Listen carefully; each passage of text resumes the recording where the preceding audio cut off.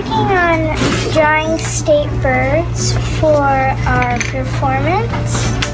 We're each assigned a state bird and we're supposed to draw a state bird. This is the American robin. It's the it's Michigan's state bird.